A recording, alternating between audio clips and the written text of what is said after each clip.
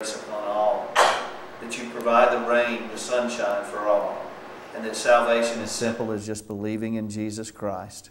And Father, we just pray that your words today will, will pierce our hearts, Father, and that we'll, we'll want to live a life that brings glory and honor to you. We, we just pray this in Jesus' name. Amen. So, if you look in Romans 12, that's where we're going to start. And coincidentally, and I'm saying that sarcastically, guess where we're at tonight in Romans? Romans 12. And I think that I'm running behind in Romans and everything, and then I start preparing sermon. Like, that's exactly where we are again. God just has it all figured out. I don't. I just have to be obedient and follow along. But that is what we're going to be talking about tonight.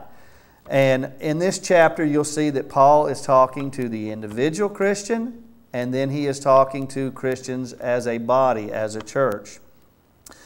So I kind of call this Christian Living 101 is what Romans chapter 12 is, the basics of Christianity. And it starts out with therefore, so we have to figure out what is he talking about. Basically, he's talking about the theology that he set up in the first 11 chapters.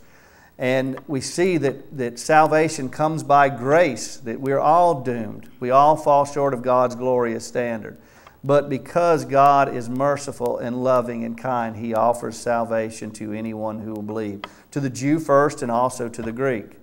And we finish up in chapter 11, we see that Paul's longing for Israel because they have rejected the Messiah. They're the ones that actually crucified him. And he says that I would give up my salvation if I could. He longs for them, but he is called to be an apostle to the Gentiles. And because of their disbelief, we get the gospel message. It's all part of God's plan. Who would figure it? But God is just amazing and true and brings about, even in times of rebellion and shame, victory. Victory through Jesus. So we start out in Romans 12, therefore. Brothers, I urge you, brothers and sisters, in view of God's mercy. So I urge you, or I plead with you, I beg you. Brothers and sisters, that means those who know Jesus Christ, who are saved, who have been bought by the power of the blood of Jesus. Those who are children of God, belong to his family. In view of God's mercy. So the first thing we need to do is figure out what mercy is, right? Simple definition is mercy is getting the exact opposite of what we deserve. And we'll get a little bit further into it. But I deserve, the wages of sin is death, eternal separation from God. I sinned against God Almighty. I deserve whatever punishment that He wants to dish out. And in our case, it's eternal separation from God because He cannot tolerate sin. He can't have sin in His presence. Thank goodness because I know when I have a home in heaven, when I go there, that it's going to be perfect in every way.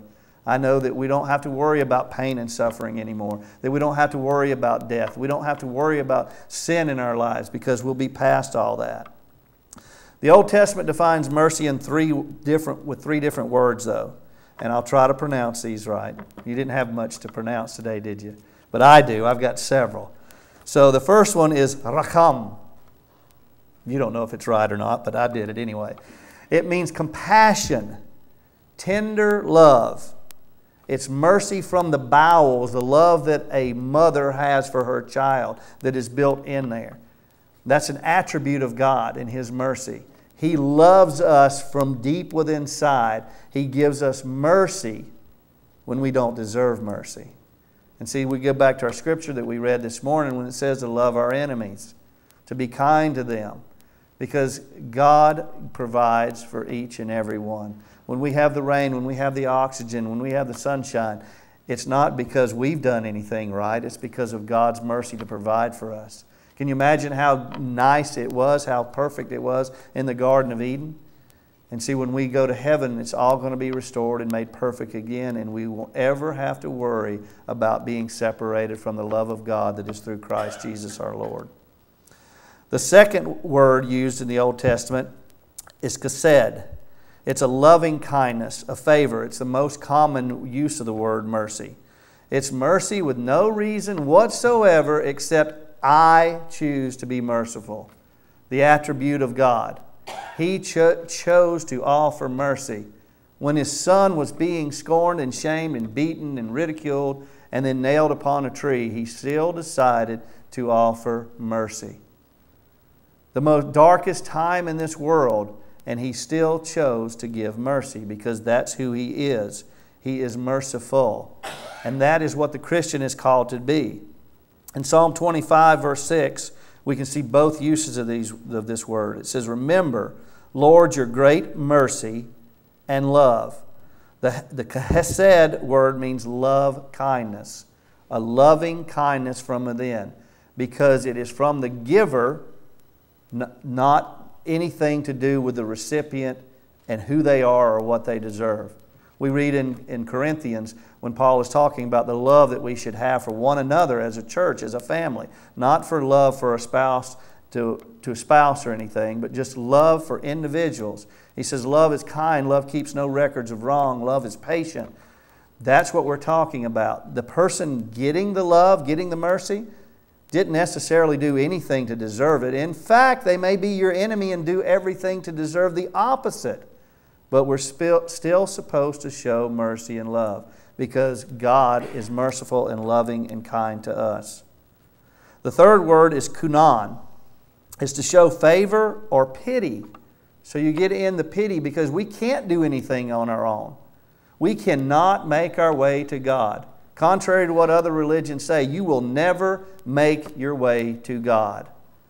That's why He had pity and mercy upon us, and He came to us in the form of a man to take on our suffering or our shames. We have a Savior that can, that can empathize with us. He understands everything that we went through because the pain and suffering that I have or you have doesn't compare to what He suffered, doesn't compare to what He gave up to become the creation that He created in the first place, to humble Himself and die for our sins. So, therefore, I urge you or beg you, brothers and sisters, I plead with you because of God's mercies. This is what they understood from the Old Testament scriptures. This is the mercy that God is that Paul is talking about here. Mercy which we did not deserve, mercy which we did nothing to obtain, but because God is merciful and kind, because he had pity on us, because he has loving kindness from his bowels as a mother would love a child.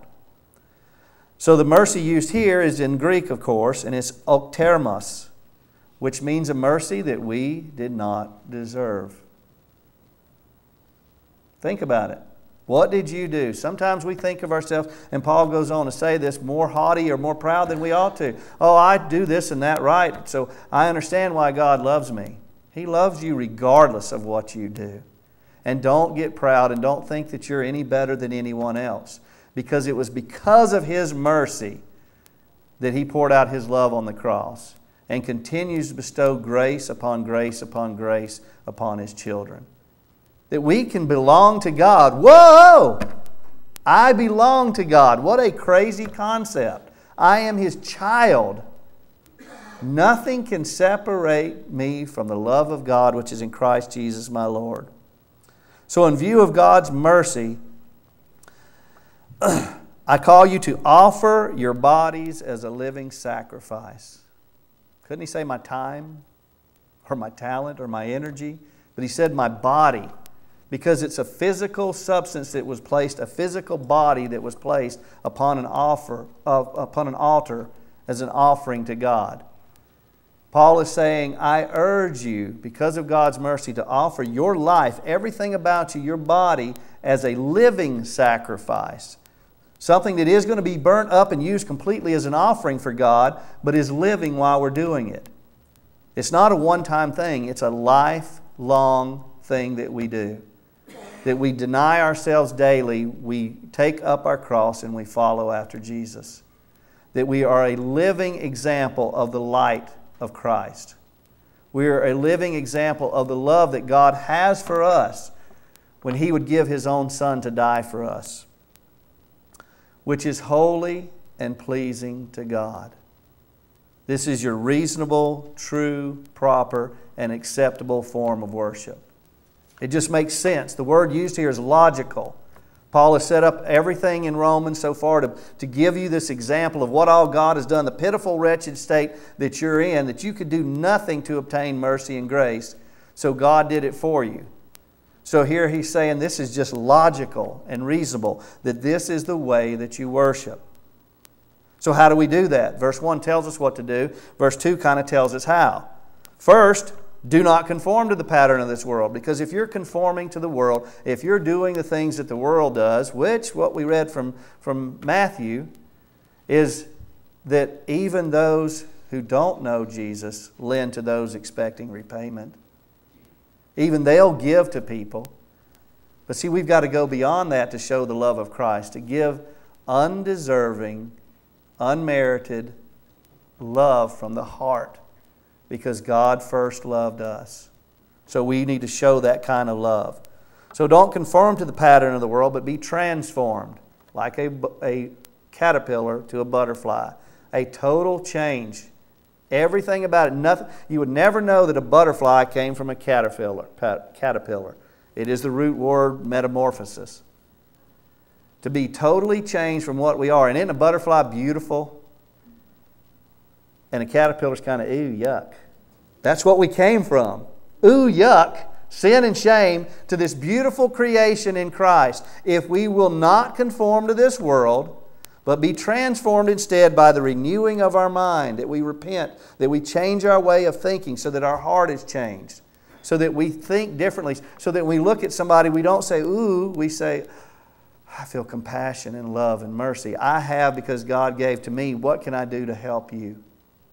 Let me tell you what can help the most of anything out there in the world. The most incredible form of mercy and love is that God gave His Son to die for you.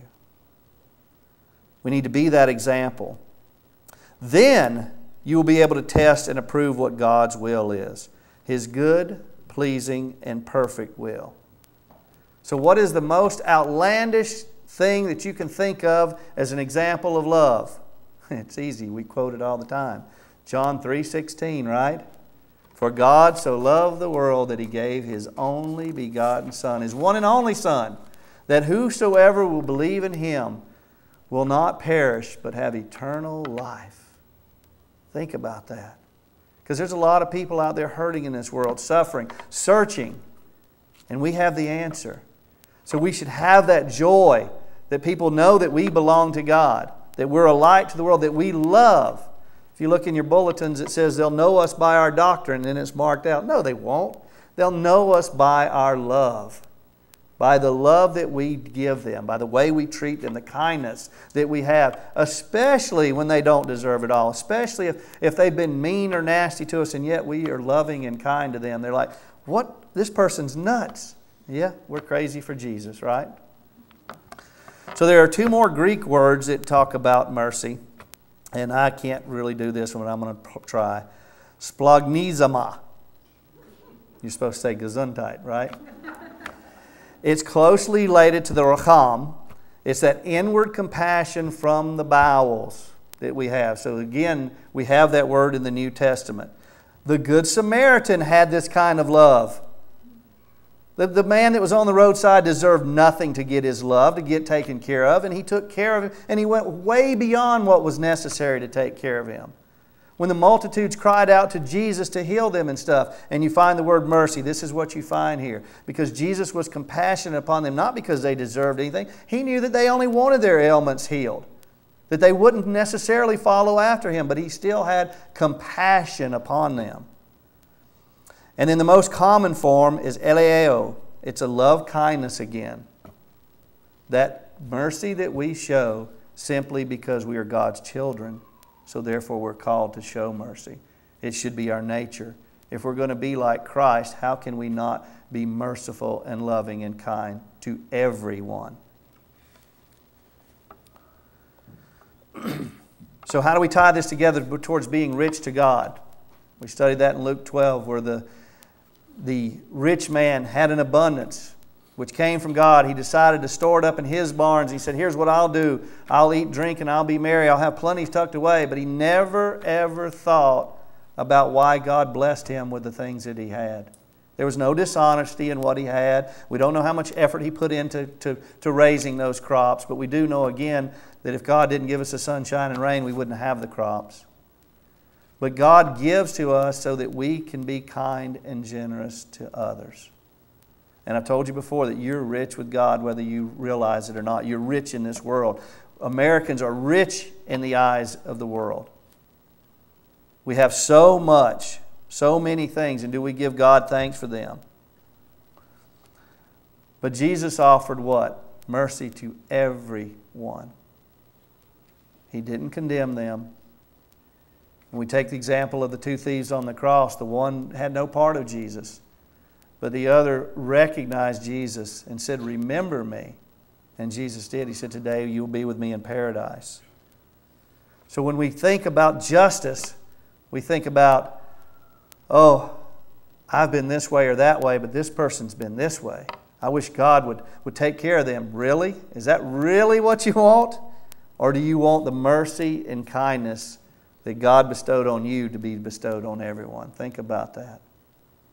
The mercy and grace that He showed you, don't you want everyone to be able to have a part of that? Continuing on in Romans 12, verse 3, it says, For by, for by the grace given me, I say to every one of you, because see, here's what we tend to do do not think of yourself more highly than you ought. That's the first thing that's going to stop you from having the compassion and mercy, from being transformed, because you're conforming to the world here. They want the justice. No, you don't. You don't want God's justice. You want His mercy. So Paul says, Don't think of yourselves more highly than you ought, but rather, we got two conjunctions there tying it together that mean the total opposite. Think of yourselves with sober judgment, in accordance, in accordance with the faith God has distributed to each of you. Now, don't take that wrong. That doesn't mean that God gave me this faith and gave you this faith. It's the standard of Jesus Christ. That's what we're supposed to compare to. That's how we're supposed to live, like Christ. It's what the word Christian means to be like Christ or a little Christ. That's the standard that we have and we have the power of God inside of us. Jesus promised that, that He didn't leave us as orphans, but He sent the Comforter to teach us, to empower us to walk this walk, so that we have the example, we have the teachings of Christ, and we say, well, those are, those are tough teachings. I, I don't know how I can do them. Well, you can't. That's why you have to die to yourself. That's why you have to let the power of God take over. But the standard is Jesus Christ. That is the faith that has been distributed to each of us. For just Verse 4 For just as each of us has one body with many members, now Paul is giving an example, and these members do not all have the same function, so in Christ we too, we, though many, form one body, and each member belongs to the other. So now we switch from the individual to the collective, to the body of Christ, to all these different members who are different. So, how, do we, how in the world do we get along? Except by the power of God, by His Spirit that brings about unity.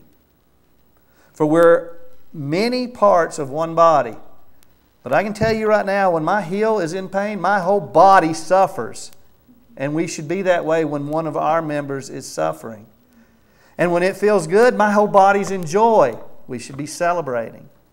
We should be lights to this world, telling others of Jesus Christ as one body. Even though we're different with different functions, we all serve the same Savior.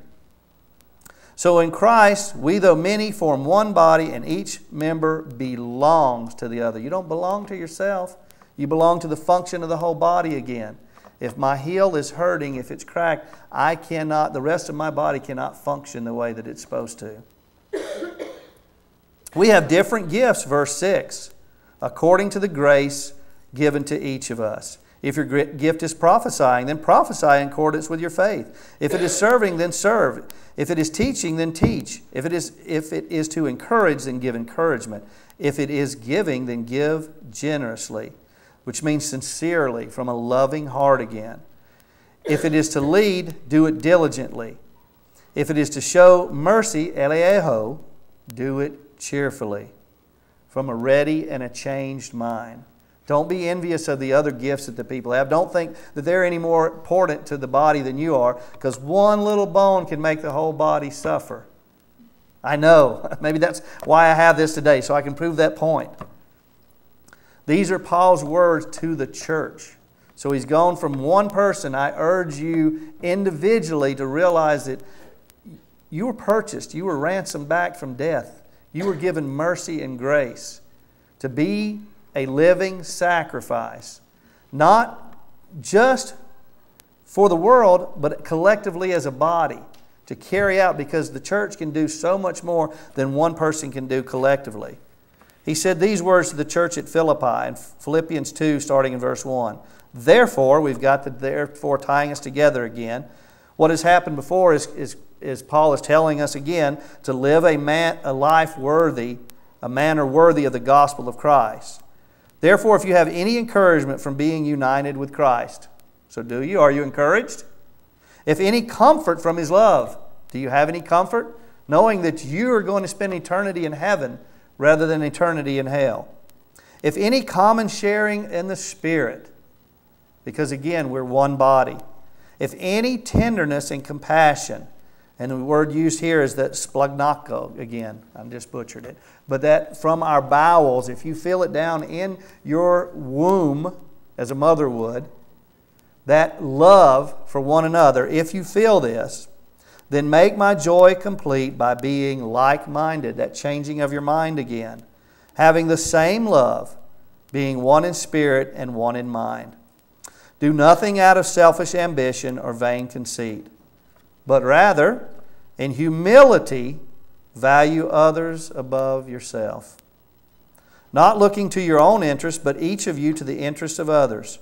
In your relationship with one another, have the same mindset as Christ Jesus, your standard again. How? Jesus, who being in the very nature of God, did not consider equality with God something to be used for his own advantage. But rather, he made himself nothing not just lower, but nothing. The God of all, the one who was there in the beginning, who will be there in the end, humbled himself to be his creation. Nothing. By taking the very nature of a servant to serve. Being made in human likeness and being found in appearance of a man, he humbled himself by becoming obedient to death, even death on a cross. That's our standard. And that's what God did for us through Christ. That's how much He loves us.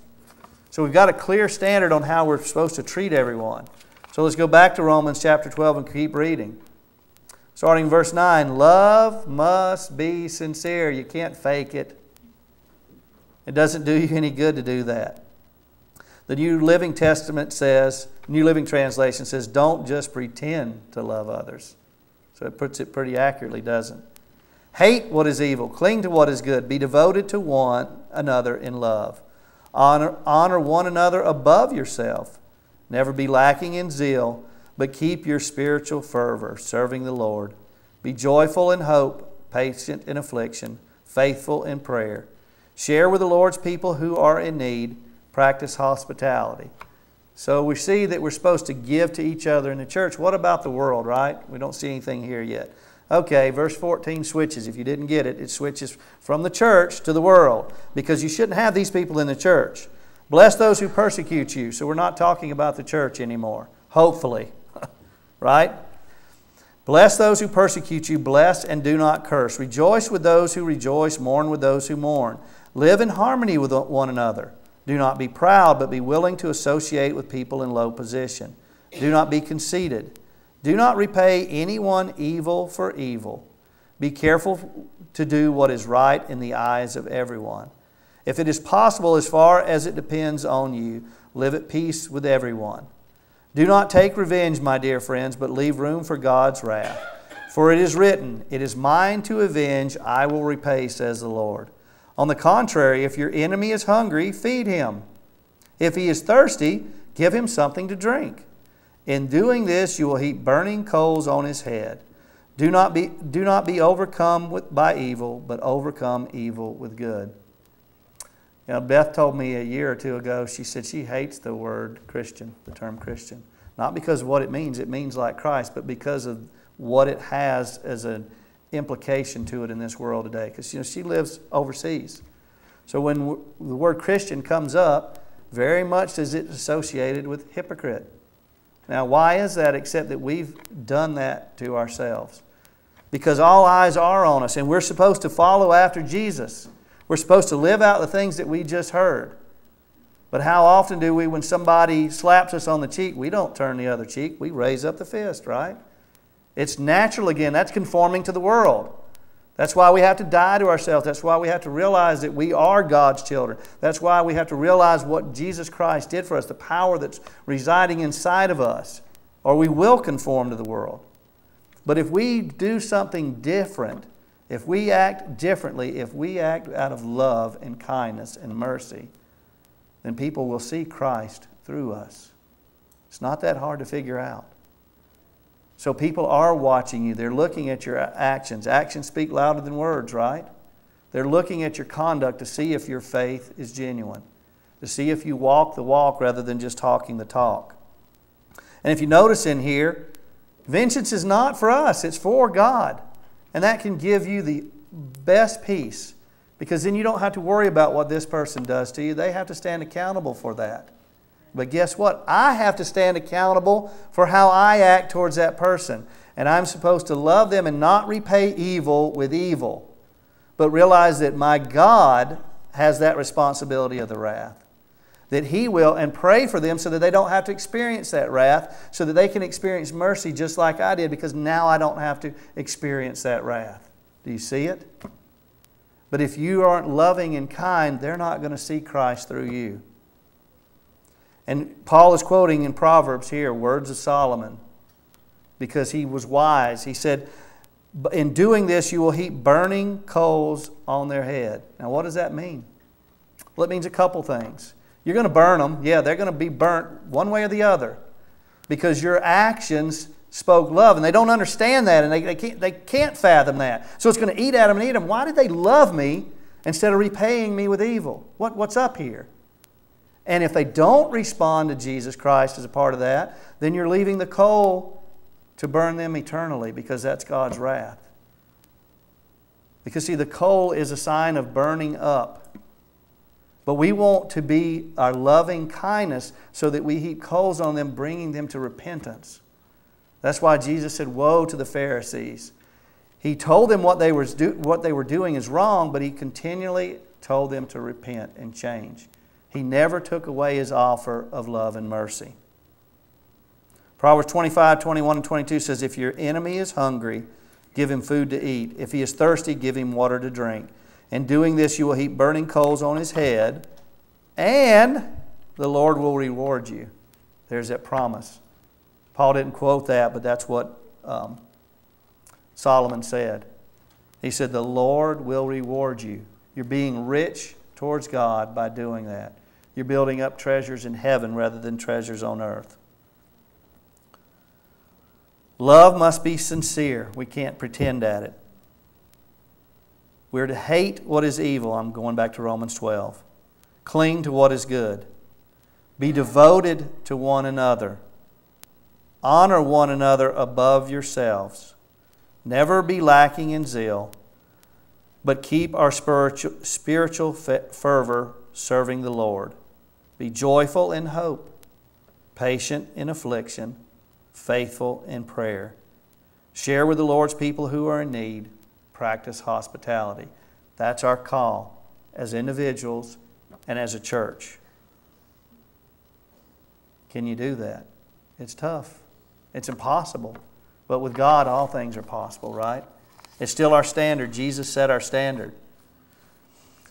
Closing out Romans 12 Bless those who persecute you, bless and do not curse. Rejoice with those who rejoice, mourn with those who mourn. Live in harmony with one another. Do not be proud, but be willing to associate with people in low position. Do not be conceited. Do not repay anyone evil for evil. Be careful to do what is right in, it, in the eyes of everyone. If it is possible, as far as it depends on you, live at peace with everyone. Do not take revenge, my dear friends, but leave room for God's wrath, for it is written, It is mine to avenge, I will repay, says the Lord. On the contrary, if your enemy is hungry, feed him. If he is thirsty, give him something to drink. In doing this, you will heap burning coals on his head. Do not be overcome by evil, but overcome evil with good. I've read it twice. I could keep on reading it because we need to hear that. We don't get it through our thick heads, do we? But because of mercy, because of God's love, because of His attributes, We who believe in Jesus Christ are God's children. We belong to God. We are free from wrath. We know that when we die, we don't have anything to fear in death. And it's our responsibility to tell the world.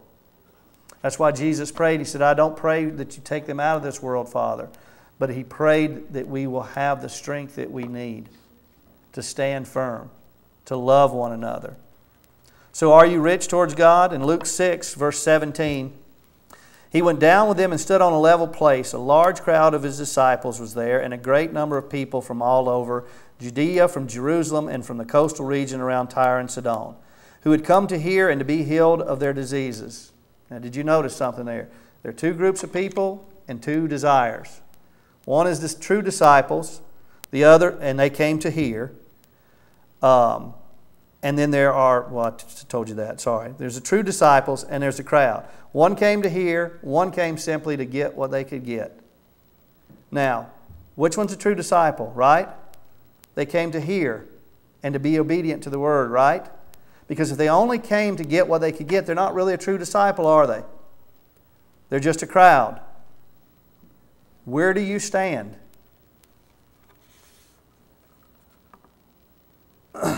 Those troubled by impure spirits were cured.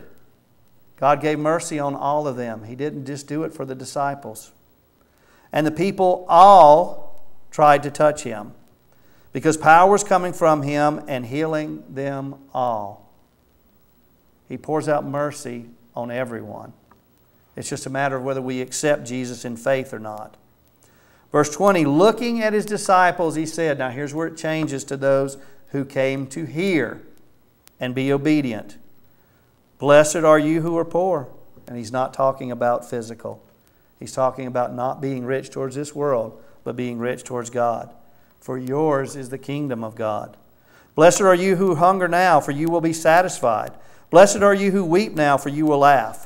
Blessed are you when people hate you, when they exclude you and insult you, and reject your name as evil because of the Son of Man. Rejoice in that day and leap for joy because great is your reward in heaven. Are you seeing a pattern about how to be rich towards God? Are you seeing a pattern how to build up treasures in heaven rather than on this earth? It means you don't worry about the things on this earth, but instead you're rich to God with what you have, and He has blessed you so much.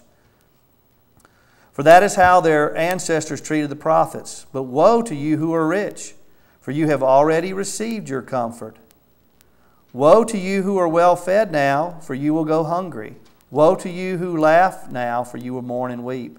Woe to you when everyone speaks well of you, for that is how their ancestors treated the false prophets. Woe, you have a chance to change. These are Jesus' words saying, Listen to me. This is to his disciples again. This is not to the world. So that means that even as disciples, we struggle with this world that we have to die and become a living sacrifice. So in verse 27, but to you who are listening, he's already pointed and said to his disciples, but now he's picking out of the disciples, are you listening? Who's listening to my words? Who's going to follow after me? Because this is tough teaching. Love your enemies. Do good to those who hate you. Bless those who curse you. Pray for those who mistreat you. If someone slaps you on the cheek, turn to them the other also. If someone takes your coat, do not withhold your shirt from them. Give to everyone who asks. And if anyone takes what belongs to you, that's stealing from you, right? Or whatever it is. Do not demand it back. It's getting tougher. Do to others as you would have them do to you. If you love those who love you, what credit is that to you?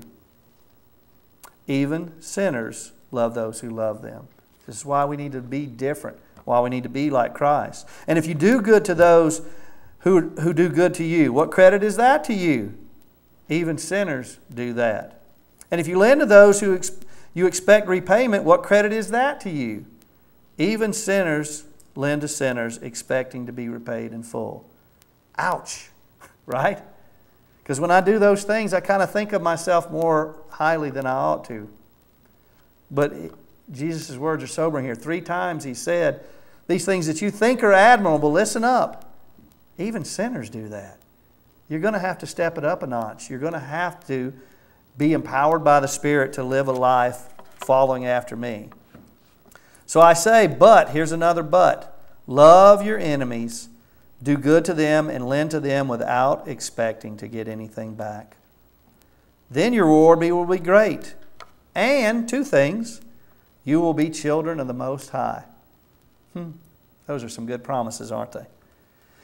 Why? Because He is kind to the ungrateful and the wicked. That's why we're to be called to be merciful and loving, because God first loved us. We wouldn't even know how to love if it wasn't for the fact that God first loved us. Be merciful, just as your Father is merciful. Jesus stops here, right? No. Do not judge. Yep. I'm guilty of that. And you will be, not be judged. Do not condemn, and you will not be condemned. Forgive, and you will be forgiven. Give, and it will be given to you a good measure, pressed down, shaken together, and running over will be poured into your lap. He'll just pour out some good on you. For with the measure you use, it will be measured to you. So, how can a Christian not love? It should bring you to repentance. If you're listening, he's talking to the disciples, and then he says to you who are listening, Do you love? Because God has given to you. You need to be rich with what you have. Even if you don't have much in this world material, you are rich with the love of God through Christ Jesus our Lord. And He has called you to be rich in giving out that love. It's not about material things. Yes, we're called to give to the poor and stuff, but it's about giving that love to one another, truly loving them so that we're not only rich to go, towards God, we're not only as children, but we're drawing others that they see a difference, that they see Christ in us. So, how did you stand up to that? I know it makes me think a little bit. You're also going to be given some opportunities to give. I talked to Beth a little bit last week, and she said she thanks us so much for all that we give her. She is overwhelmed, and she could still use more. I didn't put but. She could still use more. I remember when she told us before that she could use a little bit more, she said, You know, I'd like to have some clean underwear. That's not asking much. She wanted some new underwear because they had holes in them. She's doing fine. She thanks us so much, but there's more room we can give. We can give to um, her foundation as well. Next week, you're going to get to meet um, the Roberts, and we can give to them as missionaries as well. And there's a world out there that needs Jesus' love. They need to know we're Christians by our love, not by our doctrine. By the way that we love one another, the joy that we have. And us as a body need to share with each other in joy and share with each other in heartache. We're there. We have different gifts. We saw that from Scripture that we can use to support one another. When I'm hurting and down, you can support me. When you're hurting and down, I can support you. When we're all celebrating, we can celebrate. And most of all, we can tell each other that, you know, why that you see this unity, you know, why that you see this love? Because God so loved us that He gave His only begotten Son, that whosoever believes in Him shall not perish, but instead have everlasting life. Father, we thank you so much for your love. We thank you for Jesus' words, for His examples. And not that He set something out there that, that we couldn't obtain, but that He gave us the power of God inside of us so that we don't have to sin anymore. Sin has been defeated upon the cross. And we long for the day when Jesus returns and that we spend forever with you. We thank you for loving us. We thank you for adopting us as your children. Help us to just realize how much love the Father has for His children. The privilege that we have to be called children of God. Thank you for the Spirit that you've given us that empowers us with gifts. Thank you for the body of Christ. Thank you for the freedom that we have, especially in this country, to worship you. We just praise you. We thank you for the love that you have given us. We pray this in Jesus' precious name. Amen.